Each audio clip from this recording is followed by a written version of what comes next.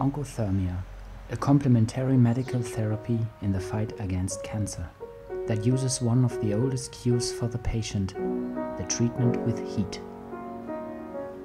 Oncothermia is the result of progress using the older oncological method of whole body hyperthermia. However, in contrast to whole body hyperthermia, oncothermia is not only a simple deep heating, rather, oncothermia couples the known deep heating with the newest technology. It makes use of an electric field that can be modulated. Two active electrodes generate this electric field. One of the electrodes is movable and the other is static. The position of the movable electrode depends on the treatment area.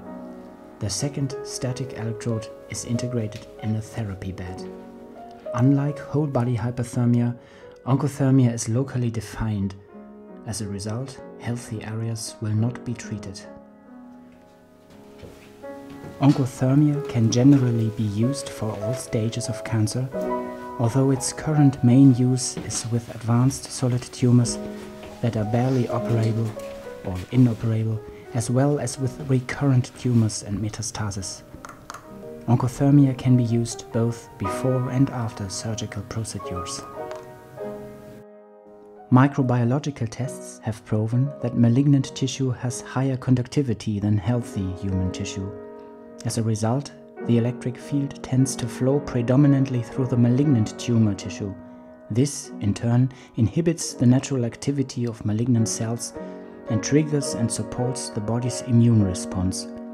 Malignant tumor cells then die via a process known as apoptosis. The device presented in this film shows different treatment possibilities with oncothermia. There are different device types for different carcinomas, which all work using the same technology.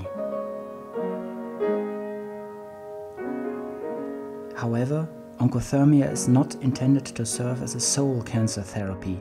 It is intended to be used in combination with conventional medical treatment. It can be combined with all types of chemotherapy and radiation therapy. Studies have shown that a combination of oncothermia and radiation or chemotherapy can be highly effective and that oncothermia strongly enhances the effects of such other treatments. Oncothermia, when used as a complementary treatment along with traditional medical therapies, such as chemotherapy and radiation therapy, can significantly improve patients' conditions, prolong their survival, and enhance their quality of life. The patient feels comfortable throughout the treatment. It supports the patient and boosts personal well-being. A new complementary medical therapy in the fight against cancer. Oncothermia by Oncotherm.